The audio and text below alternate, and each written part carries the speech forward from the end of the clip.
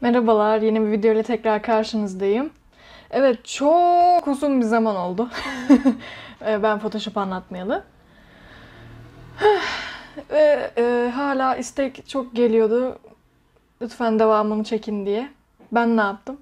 Çekemedim. Neyse.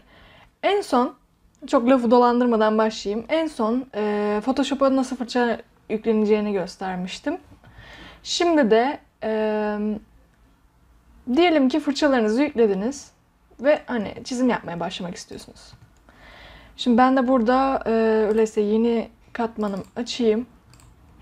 Bugün bahsedeceğim konu ise hani m, biraz çizim örneklerinden falan girmek istiyorum. Nasıl şeyler yapılabileceğiyle ilgili. Burada F'ye basıp tam ekran yaptım. Ve buradan fırçamı seçiyorum.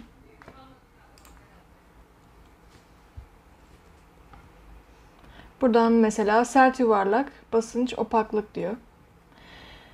Ee, bende sadece bu fırçalar var.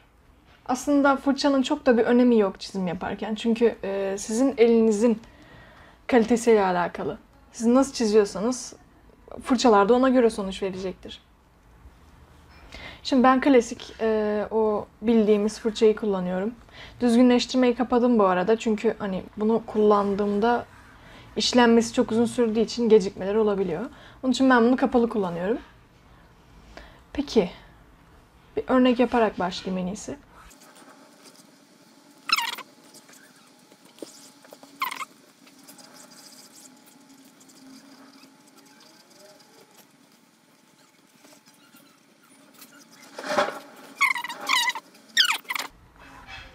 Bunu birazcık büyütmek istiyorum. Eskizim birazcık sürebilir.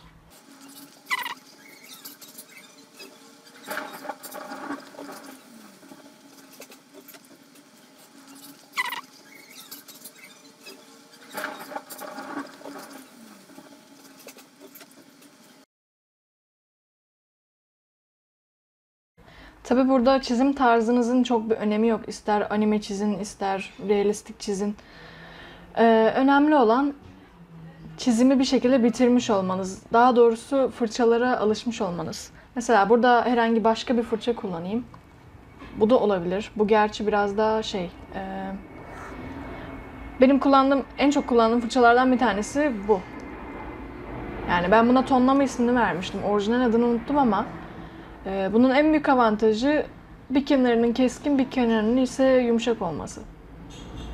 Ama tabii ki de klasik standart fırçada kullanılabilir. O biraz size kalmış bir şey. Ee, çizim yapmaya başlamadan önce fırçaları biraz daha deneyip tanımanız iyi olabilir. Yani size daha çok avantaj sağlar. Mesela sert kenarda tamamen bu şekilde sert kenarlı yapabilirsiniz. Benim e, bu ilkteki fırçayı kullanmamın sebebi ucunu bu şekilde e, yumuşatılmış olarak bitirmiş olması. Şimdi rengim beyaza dönmüş bu arada. Şunu e, biraz daha düzeltelim. Şöyle büyüklüğünü ayarlayalım. Çizmeye devam ed- edelim bakalım. Tabi e, kemen taracıyla L'ye basarak çizgin, çizginizi taşıyabilirsiniz. Bu şekilde.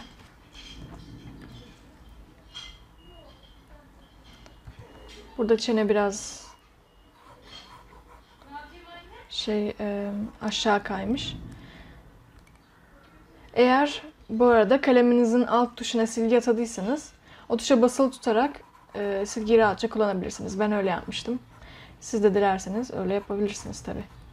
Ya da bunlar değiştirilebilir tuş olduğu için istediğiniz görevi atayabilirsiniz. Evet, devam edelim.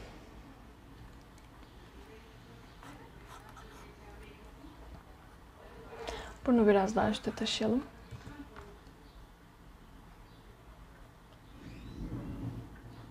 Biraz daha bu şekilde döndürülebilir.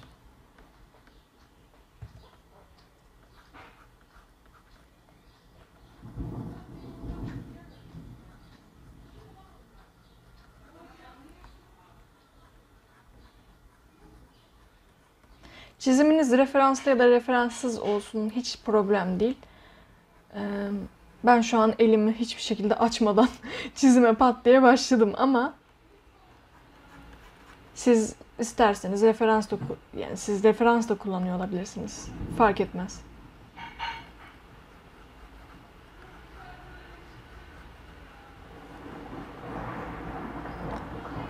Evet şu an gerçekten bayağı şimşekler, yıldırımlar. Çok değişik bir hava var dışarıda.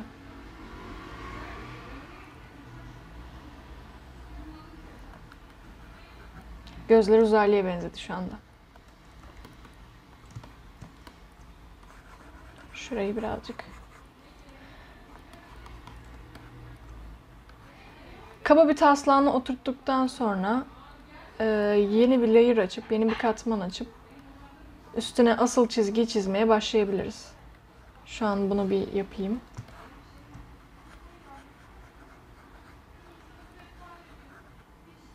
Perspektif kuralları her şey her şey çöpe gitti şu anda. Hiç hiç hiçbir kurala uymadım şu anda. Olsun yapacak bir şey yok. Elimizi açmamanın cezası diyelim.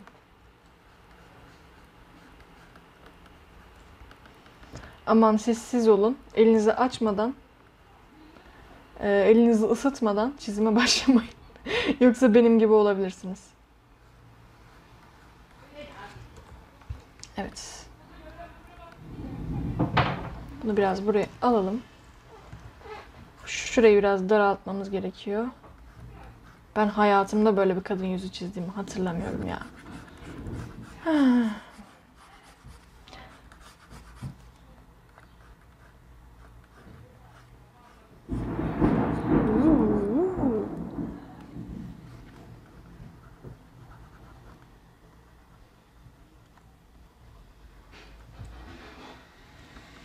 Neyse bunu yeni bir layer'da da halledebiliriz. Şöyle. Böyle çizmiş bulundum. Gerçekten sövmelik oldu şu an. Neyse yani sövseniz yeri. Senin yapacağın çizim. Peki. Şaka bir yana. Şimdi yeni katmanımı açtım. Önceki katmanımın opaklığını %47'ye düşürdüm ya da daha da az olabilir artık. Gözümün görebileceği bir şekilde. İkinci bir katmanımı açtım. Buna karışmasın diye çizgi diyeyim. Bir alttakine de eskiz diyeyim. Çok fark etmez aslında. Şimdi bu katmanı kilitliyorum ki e, elim ona gitmesin. Yanlışlıkla bu seçili olmasın. Çünkü bakın burada çarpı işareti gösteriyor. Bakın burada da diyor ki katman kilitli olduğundan fırça aracı kullanılamadı. Ben katmanı kilitlediğim için üzerine çizim yapamadım. Eğer siz de kilitlerseniz bu şekilde e, yanlışlıkla çizgi katmanı yapmak isterken eskiz katmanı yapmamış olursunuz. Şimdi çizgi katmanıma geldim. Fırçamı biraz büyüttüm. Hmm, bakalım. Birazcık buradan büyütelim. Bu da çok büyük oldu. Heh, bu iyidir. Şimdi büyütüyorum.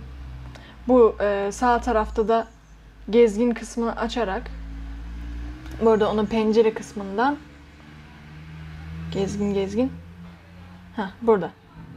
Bu window işte navigator olarak geçer İngilizce'de. Buradan buraya basarak şimdi kapadım. Basarak tekrar açabilirim. Burada sizin e, çizdiğiniz yerin, çizdiğiniz kağıdın artık kanvasın ne derseniz deyin. Uzaktan görmenizi sağlar daha iyi görmüş olursunuz. Buradan da hareket ettirebilirsiniz aynı şekilde. Şimdi asıl eskizimizi çizmeye başlayalım. Biraz daha hmm, tek çizgi halinde çizmeye çalışıyorum. Biraz daha belli olsun istiyorum. Kenarları şöyle biraz daha yumuşatılmış yapayım.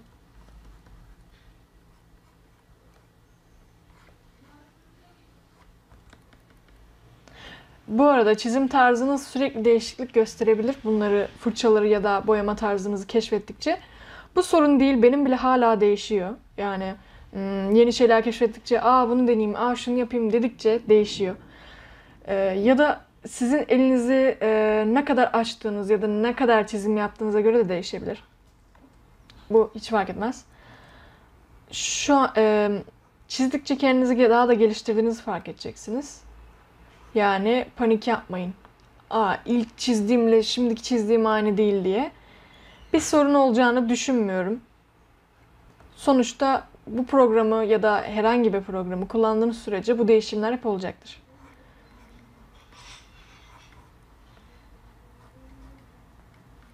Şimdi mesela ben eskiden bu programı kullanırken çok fazla e, çizgiyle yaparken şimdi olabildiğince artık az çizgi kullandığımı fark ettim. Daha çok e, ilk, ilk derslerde bahsettiğim sculpting. Yani böyle boyayarak inşa etme şeklinde. Yani heykel yapar gibi düşünün. İnşa ede ede gidiyorsunuz. Biraz daha o şekle kaydığımı fark ettim. Tabii yine çizgi alt kısmında gözüküyor ama siz boyadıkça, sürekli boyadıkça bu çizgi altta kayboluyor. Yani çizgiyi çalışmaya yedirmiş oluyorsunuz. O yüzden çok göze çarpmıyor. Böyle daha iyi olduğunu fark ettim. Tabii yine bu sizin seçiminize kalmış. Siz belki öyle rahat edemiyorsunuzdur. Belki de line art çalışıyorsunuzdur sadece çizgilerle.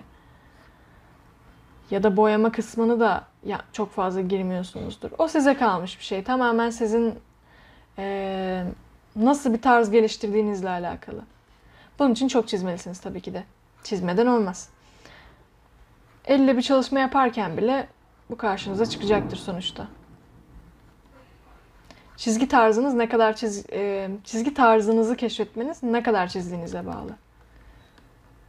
Mesela ben burayı çiziyorum ama kesin burada bir yanlış çıkacak şu an.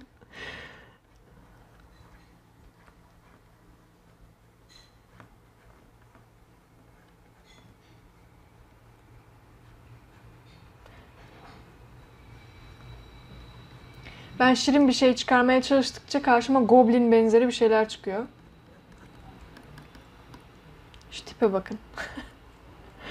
Gözlerini biraz daha büyütürsem eğer biraz daha e, anime tarzı bir şeye kayacağını düşünüyorum ama hani erkek karakterlerden ayırmak için biraz daha gözlerini büyütebilirim gibi. Gibi. Çünkü benim mesela benim nasıl desem benim e, yarattığım orijinal karakterler var mesela. İleride birkaç ders sonra belki gösterebilirim.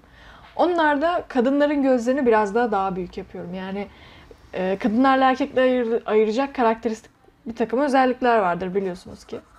Hani daha sivri bir çene işte, biraz daha büyük gözler falan. Benimkinde de bu şekilde işliyor. Yani karakter çizerken kadın ve erkek çiziyorsanız özellikle ikisini birbirinden ayıracak temel şeyler olsun. E, hepsi aynı olmasın mesela.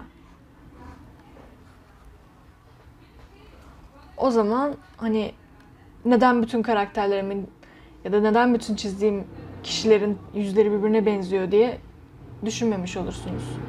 Eğer kendilerine has bir özellik yaratırsanız. Kimlikte diyebilirsiniz buna tabi. Şöyle hmm, şu R'ye basaraktan sayfanızı çevirebildiğinizi söylemiştim. Yanağını biraz daha sivri yapalım. Hatta biraz daha şöyle alabiliriz.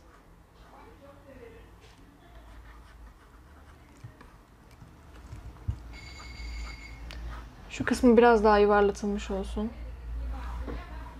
Eğer çok aşağıda olursa çeneyi biraz daha üstte alabilirim tabii ki de. Yani bu ilk eskiz yani ben şu an referans olmadan kesinlikle hiç bir yere bakmadan kendi kafamdan şu an yaptığım için e, sürekli silip şey yapabilirim.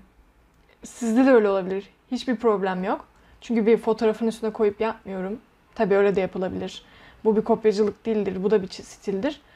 Ama e, sürekli böyle yanlış yapıp silebilirim. Çünkü hani sıfırdan bir şey yapmaya çalışıyorum ve e, beni zorlayacaktır ilk başta. Hadi şurası şöyle olsun, şurası şöyle olsun. Beğenmedim, düzelteyim falan filan. Bu problem değil. Birinin yüzüne referans alarak da yapabilirsiniz tabii ki de. O zaman işiniz biraz daha rahat olur. Ee, ben şu an sıfırdan yapıyorum. Onun için sürekli düzelttiğime bakmayın. Böyle sürekli silip Eğer bir program, bu programı özellikle kullanıyorsanız şu eliniz CTRL Z'ye kaç bin kere gidecektir emin olun. Buna hazırlıklı olun. Sürekli geri alacaksınız, sürekli çizeceksiniz. Bu yani.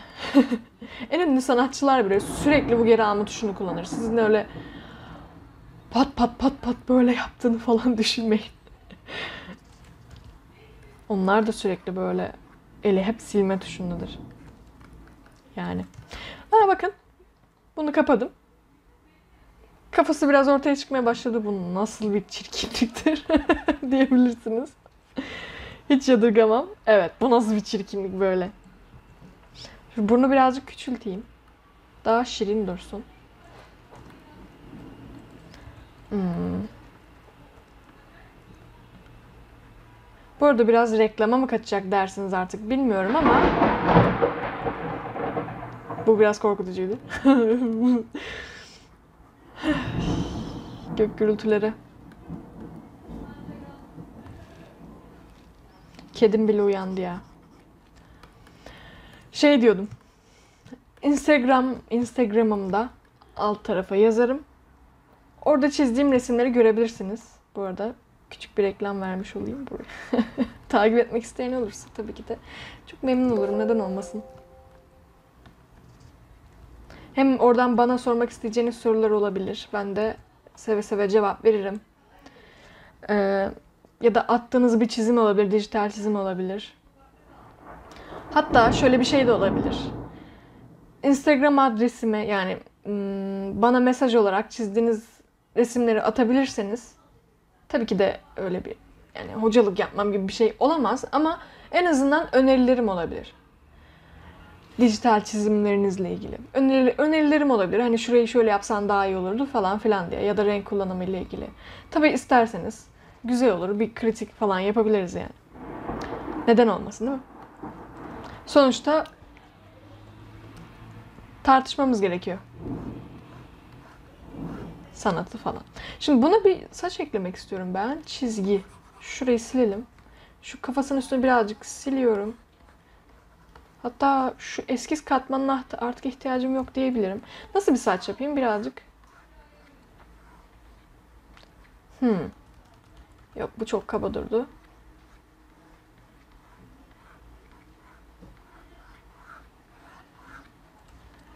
Hmm. Şurayı biraz açalım. Asıl şey görmek için. Şu Aha, bakın çizgi katmanına yapmışım yanlışlıkla saçı. Evet onun için kilit koymam lazımdı. Mesela şunu şu an siliyorum ve o kadar uğraştım. Evet şu an siliyorum ve şuraya kilit vuruyorum ve saç katmanına devam ediyorum. Burayı Evet. Hata derken bunu kastediyordum.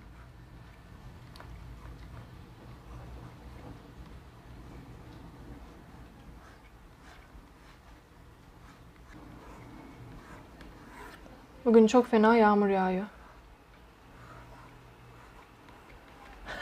Anime saçı gibi oldu.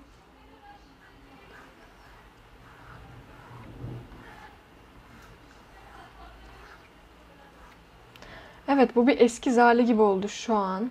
Şu çizgi katmanına, ups kapadım.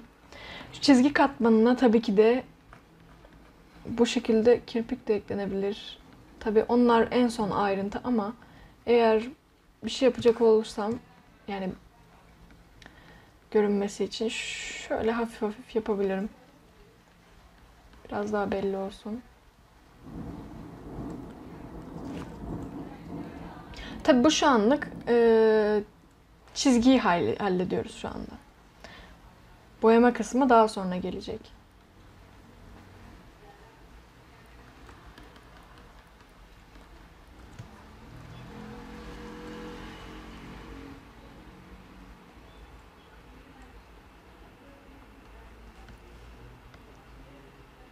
Bunu tekrar kilitleyelim. Saça devam edelim. Zaten sonlara geliyoruz.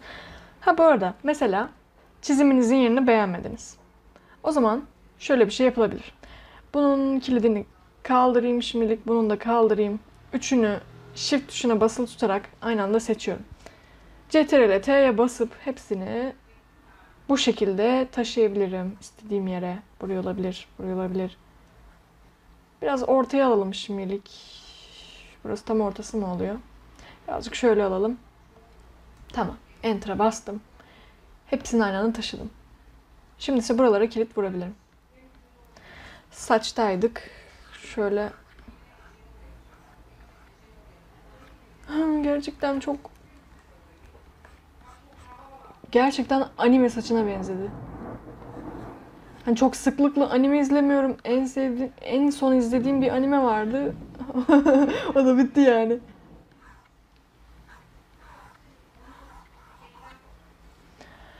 Ee,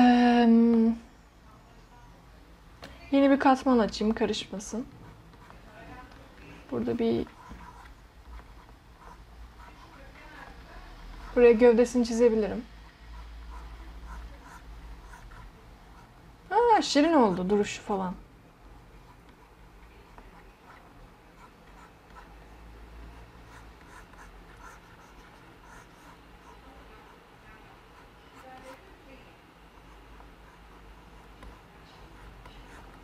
Bakın birkaç çizmeye elim açıldı. Anca elim açıldı tabii. Sizin elinizi açmanız daha da uzun sürebilir ya da kısa sürebilir. Bu şey gibi düşünün. Spor yapıyorsanız eğer, benim dediğimi anlayacaksınız. Herkes aynı derecede ısınmaz. Ee, mesela sizin kaslarınızı ısıtmanız ve açılmanız çok daha uzun sürebilir. Bunun için daha fazla koşmanız gerekebilir. Ya da daha fazla esneme, ısınma hareketleri yapmanız gerekebilir. Bu da aynı bunun gibidir. Yani eliniz elinizde kaslardan oluştuğuna göre elinizi açmanız yine uzun sürebilir. Bu konuda kaygılanmayın. Ne kadar çok elinizi açarsanız eliniz o kadar hızlı alışır. Çizime başlamaya bir an önce hazır olur. Ee, onun için ben el açmaya önem veriyorum. Bu aralar tabii benim için zor oluyor çünkü e, bileğimde bir rahatsızlık olduğu için elimi uzun süre çok fazla hareket ettiremiyorum. Böyle önceden elimi açıyordum ben de. Dakikalarca bayağı uğraşıyordum açmaya. En iyi çizim yapabilmek için. Ama dediğim gibi bu aralar eğer sizin de elinizde bir rahatsızlık varsa, bir sakatlık varsa çok üstüne gitmeyin. Yoksa daha da kötü olabilir. Her şeyden önce sağlık. Evet. Evet güzel bir eskiz oldu. Evet fena olmadı. Güzel oldu. Şuraya elmacık kemiğini hafifçe ekleyelim. Şöyle hafifçe. Ee, şuraya da şöyle burun kemerini hafifçe ekledik mi? Hatta şu eskizi bir kapatalım. Evet bu şekilde gözüküyor. Sayfayı ortalayalım. Ee, tabii gözleri bir sonraki derste gözlerini düzeltirim. Bu ne böyle? yani şuranın biraz daha yan gözükmesi lazım. Gözde biraz daha kısık olabilir hadi.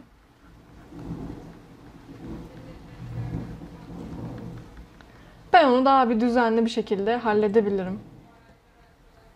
Büyük ihtimalle o göz değişecek. Bu ne böyle? Hatta biraz daha küçültürsen bakalım nasıl duruyor. Hemen onu da şöyle bir birazcık daha. Ups, yanlış yere çizmişim. Saça çizmişim. Neyse şu ikisini bir birleştirelim. Çok sorun olacağını sanmıyorum.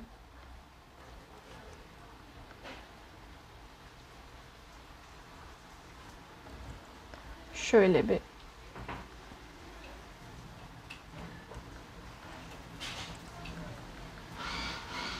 Küçültünce birazcık daha iyi durdu sanki. Yine bunda bir terslik var ama belki ben çözerim. Ops rengi değişmiş bunun. Nasıl oldu? Bu arada dışarıda öyle bir yağmur yağıyor ki sanırsınız yağmur ormanları. Neyse. Evet. Eskizim bu şekilde gözüküyor benim. E, biraz cansız bakıyor. Nereye baktı belli değil. Ee, duruş olarak fena değil. Güzel duruyor. Ee, tabii ki de elimi açtığımda daha farklı sonuçlar alacağımı biliyorum. Kulağı birazcık küçültebilir falan filan. Öyle değerlendirmeler yapılabilir. Evet, bugünkü e, TÜYO videosu mu desem artık, eğitim videosu mu desem bu kadardı. Bir sonraki derste nasıl boyanacağı ile ilgili birkaç şey anlatacağım. Hmm, Kaç farklı şekilde boyanabilir ya da kaç farklı stille boyanabilir? Onlarla ilgili bir şeylerden bahsedebilirim. Bir sonraki videoda görüşmek üzere. Instagram adresimi de açıklama kısmında vereceğim. Bir sonraki videoda görüşürüz. O zamana kadar kendinize iyi bakın.